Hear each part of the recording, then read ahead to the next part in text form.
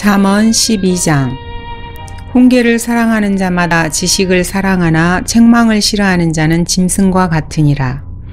선한 사람은 주의 은총을 받으나 악을 꾀하는 사람은 주께서 정죄하시리라. 사람이 악으로는 굳게 서지 못할 것이나 의로운 자의 뿌리는 요동치 아니하리라. 현숙한 여인은 남편에게 면류관이나 수치를 끼치는 여인은 그의 뼈를 썩게 함과 같으니라. 의로운 자의 생각들은 옳으나 악인의 조언들은 속이는 것이니라. 악인의 말은 피 흘림을 위하여 숨어 기다리자는 것이나 정직한 자의 입은 사람들을 구할 것이라. 악인은 무너져 내려 더 이상 존재하지 아니하나 의로운 자의 집은 서 있으리라. 사람은 자기의 지혜대로 칭찬을 받을 것이나 폐역한 마음을 가진 자는 멸시를 받으리라. 멸시를 받을지라도 종을 거느리는 자는 스스로 존귀한 채 하면서도 양식이 부족한 자보다 나으니라. 의로운 사람은 자기 짐승의 생명을 돌보아 주나 악인의 온유한 자비들은 잔인하니라.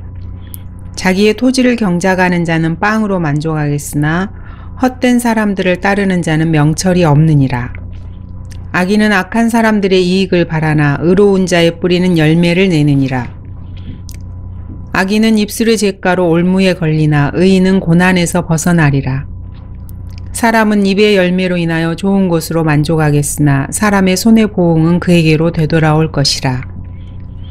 어리석은 자의 행위가 자신의 눈에는 오르나 조언에 경청하는 자는 현명하니라. 어리석은 자의 분노는 즉시 나타나나 총명한 사람은 치욕을 덮느니라. 진리를 말하는 자는 의를 나타내나 거짓 증인은 속이느니라. 칼로 찌르듯이 말하는 것도 있으나 현명한 자의 혀는 병을 고치느니라.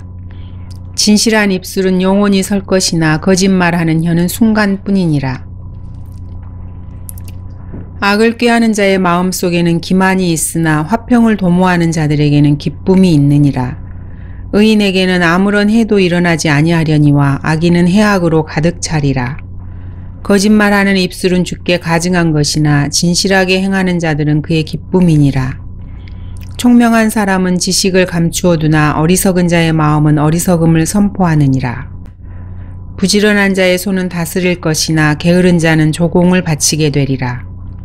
사람의 마음 속의 근심은 의기소침하게 만드나 선한 말은 마음을 기쁘게 하느니라. 의로운 자는 자기 이웃보다 훌륭하나 악인의 행실은 그들을 미혹하느니라. 게으른 사람은 사냥에서 잡은 것을 굽지 아니하나 부지런한 사람의 재물은 귀중하니라. 의의 길에 생명이 있으니 그 길에는 사망이 없느니라.